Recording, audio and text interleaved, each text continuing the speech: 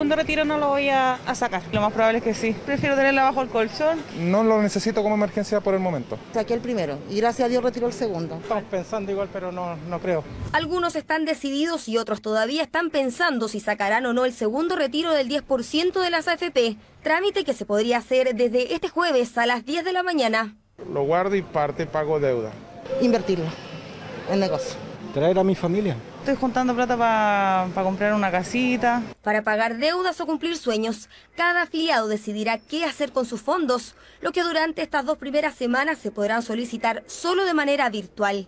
No queremos que sea por, por ocasión de ir a solicitar el retiro de los ahorros previsionales, que tengamos rebrote. La capacidad técnica para tratar todas las consultas está, está y va a estar desde el día jueves 10 de, de diciembre. Aunque hay quienes no podrán pedir este nuevo retiro, el que según el gobierno se pagaría antes de Navidad.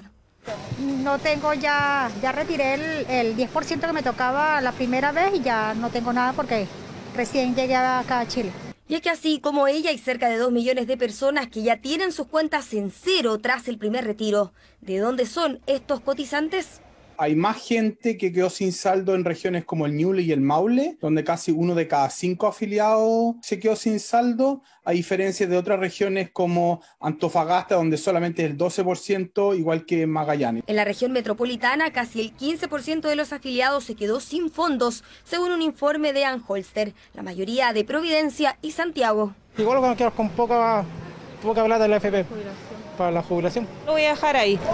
¿Te quedarías como prácticamente sin ahorro? Exactamente.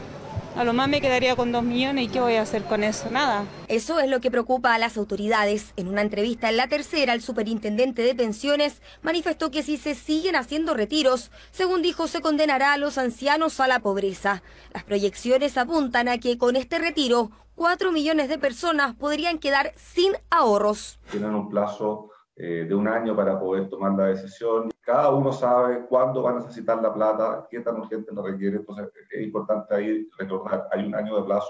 Mejor guardarlo y en caso solamente de emergencia tal vez acceder a ellos, pero antes no, no lo vemos una opción. Cuento con la suerte que soy independiente y, y no, por ahora no, no lo voy a sacar. Pero sí la gente, hay, hay mucha gente que lo necesita. En cuanto a los plazos de pago, el gobierno insiste en que los primeros depósitos serían el 17 de diciembre. Sin embargo, las administradoras tienen 10 días de plazo para hacerlo, lo que se cumple en el 24 de este mes.